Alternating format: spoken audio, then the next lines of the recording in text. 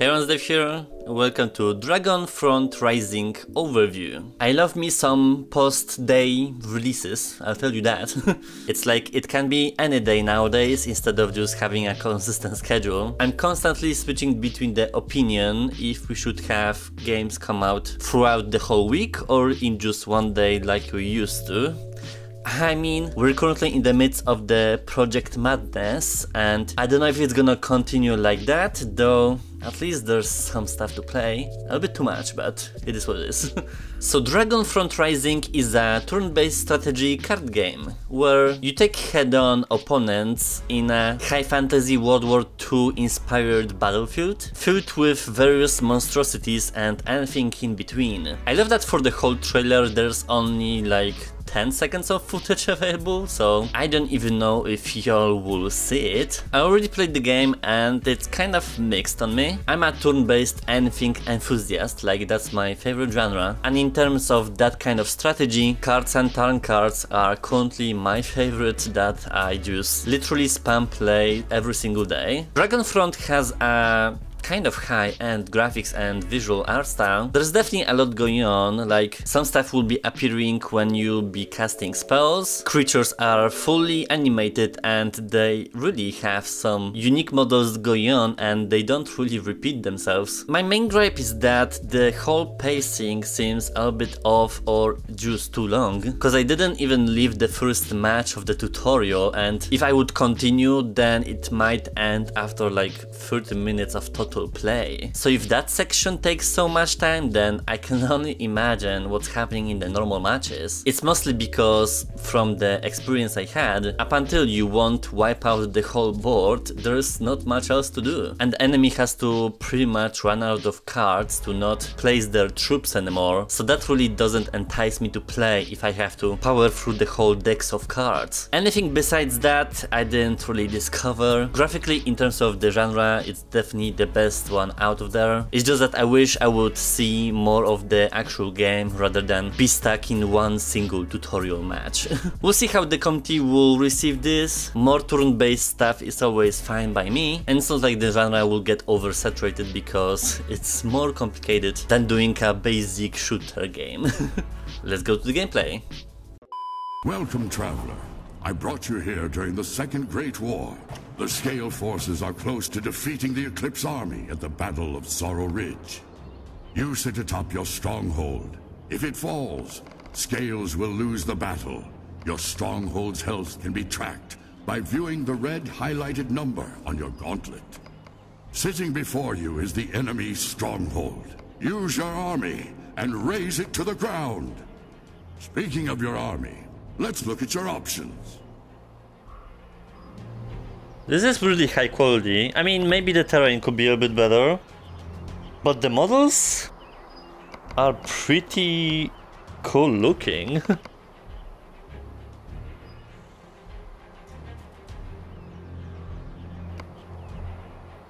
Open your hand using the buttons highlighted on your gauntlet. Oh. From your gauntlet, your hand of cards will be projected for your viewing. These cards represent the units and spells currently at your disposal.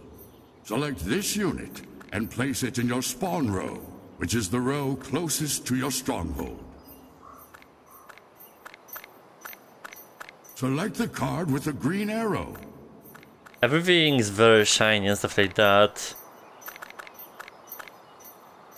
I don't necessarily like that the models... They are from the same faction, but they're not very much distinguishable from each other. But that's just like the design stuff. These units represent the backbone of your army. Their courage is truly inspiring. Now, let's pass the turn to your opponent. What's this theme though? Like, that foul creature will stop at nothing until every life is snuffed out. We'll need to prepare to face it. You gain mana at the start of your turn. It is used to spawn units, cast spells, and build fortifications. You gain one mana each turn, plus another for each unit in your spawn row. You can see your current mana on your gauntlet. Okay, but I want this to go away.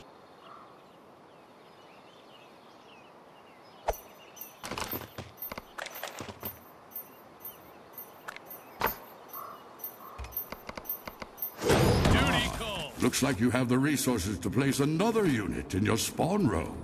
Place the unit where you wish before ending your turn.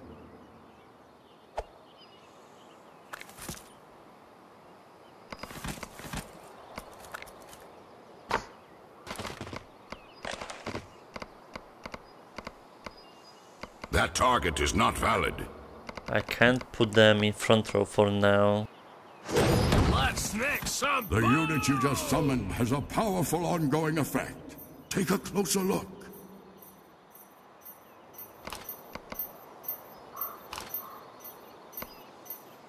Where's the button? I highly recommend you examine unfamiliar units to see what kind of unexpected effects they might have. Okay, so they would be better for them, I suppose?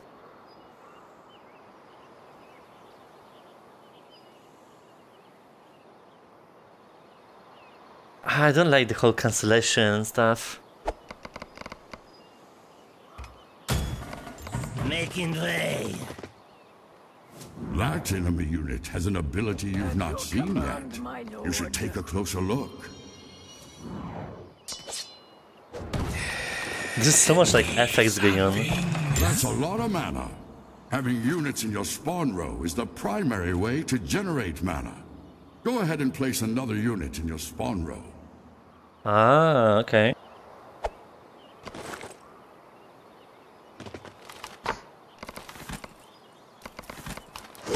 Let's get going. If you'll notice, after playing that unit, you have some mana remaining. Not enough to cast or summon anything else this turn. You could keep the mana and use it next turn. But instead, let's devote it to your champion. Ah, so it doesn't like reset.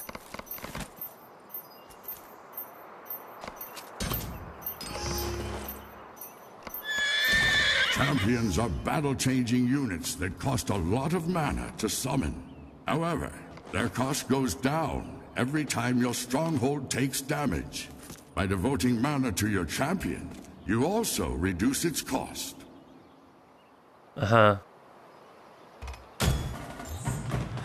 Yes, my lord. When is the attacking happening? So many units. You must act quickly before you're overwhelmed. I think it's time you learned about spells. Spells can have a great variety of effects on the battlefield. This particular... Aha! Well, that went splendidly. As you can see, that spell did more damage than the enemy's remaining health. Uh, that's the number in the red shield, mind you. Let's now go on the offensive. When you activate a unit, it moves forward one tile if possible, and attacks any enemy unit directly in front of it. That's your sir. Your unit won. Excellent. Though they took some damage, your unit was victorious. I think it's time you brought out your champion. Hmm, we still need more mana to summon your champion. Did you know you can discard any card in your hand once per turn to gain one mana? It's a sacrifice to be sure, but one that can serve the greater good if done at the right time. While examining a card, you may select the skull icon next to it to discard it. Chief Engineer.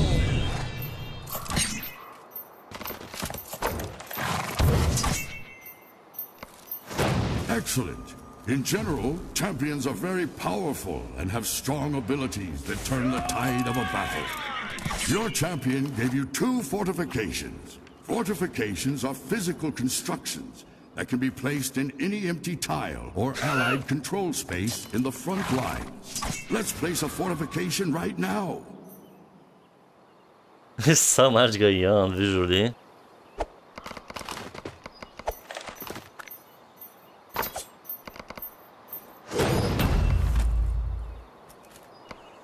But for what?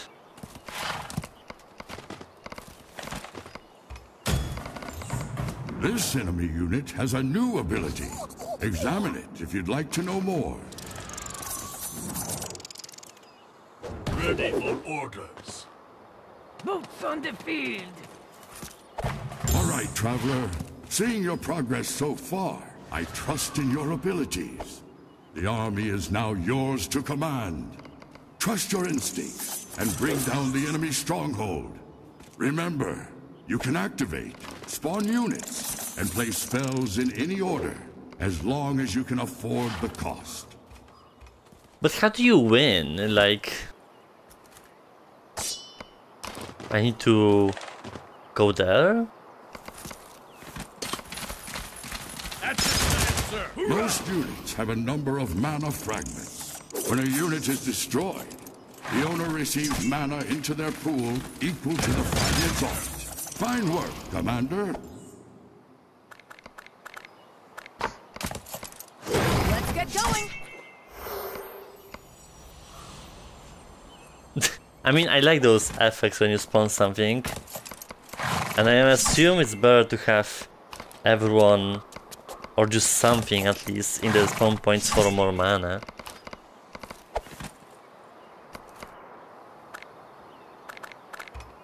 But I don't necessarily like the fortification philosophy. Can I go side to side though?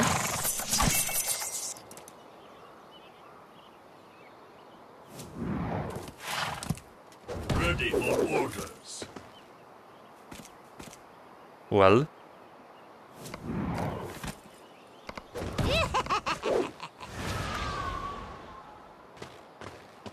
Sick good.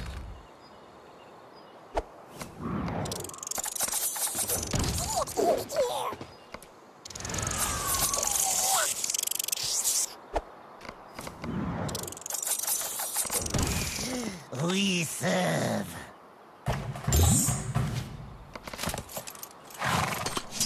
I just want to like find out the mechanics first. tactic.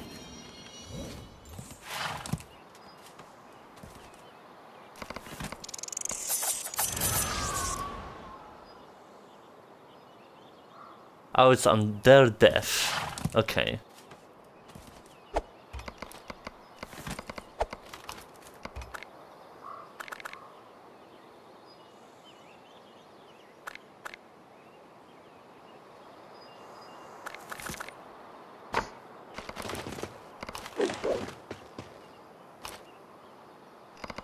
Let's roll out.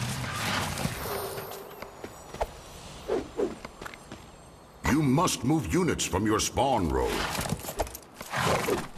Yeah. Opportunity's knocking.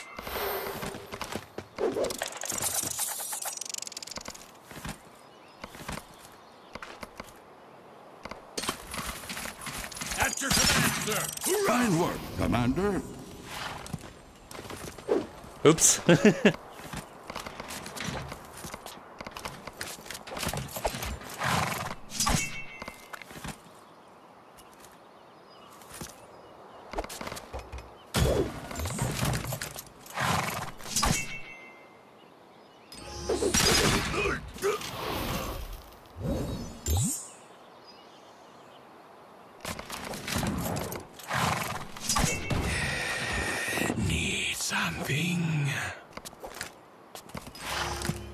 no, no, no, no, no, no, no.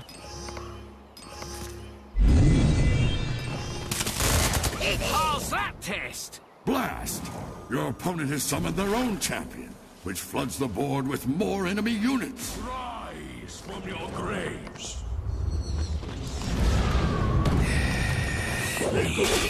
Need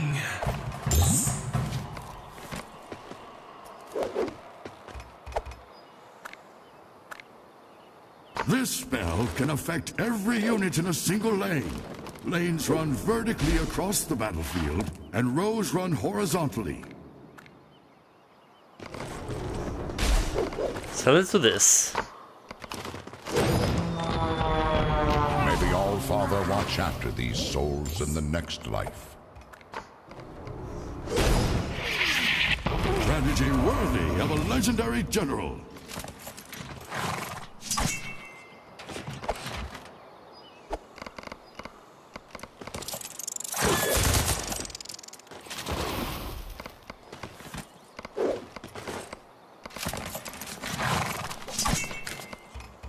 I'm trying to think about the philosophy overall with the mechanics and proper strategies. There's definitely like a ton of stuff going on.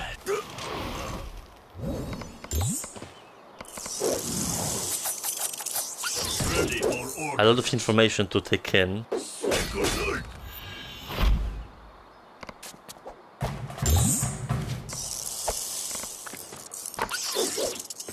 A building?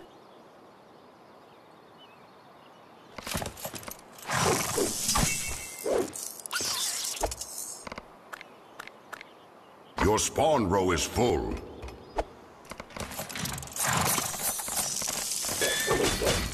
Rally to me!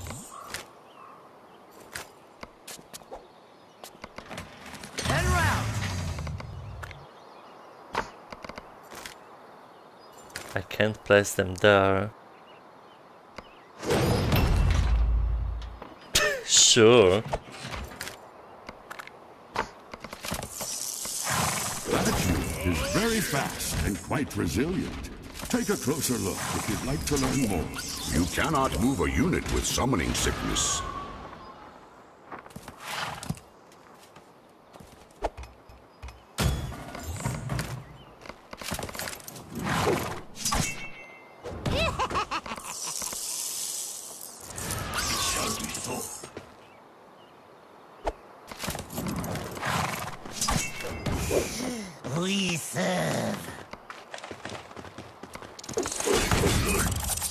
Wait.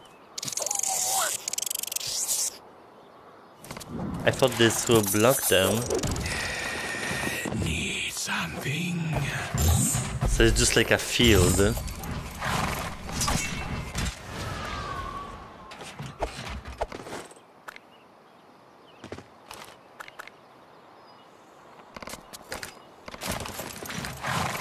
Ready with troops!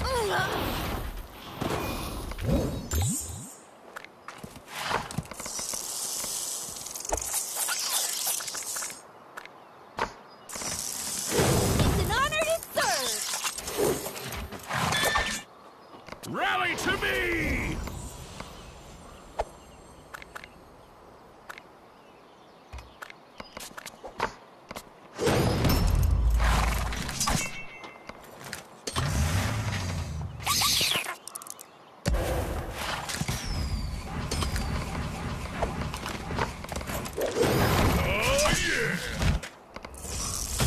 I'm trying to get to the base.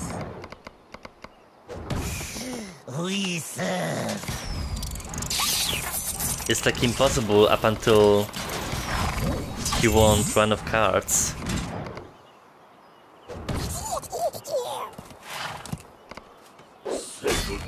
So the matches can just go in infinity.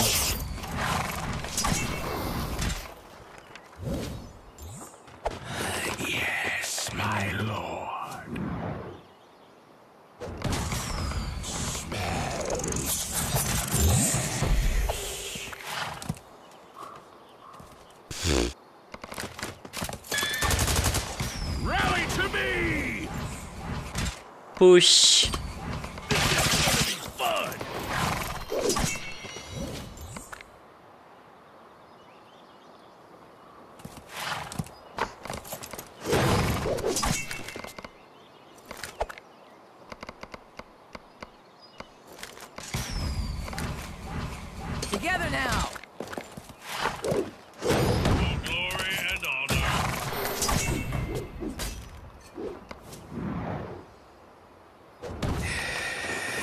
I think this is the number of cards. Yeah, it's like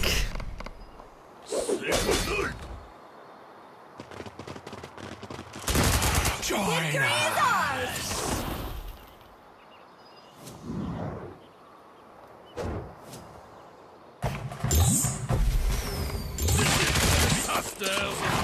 You must wait a turn before giving that unit orders.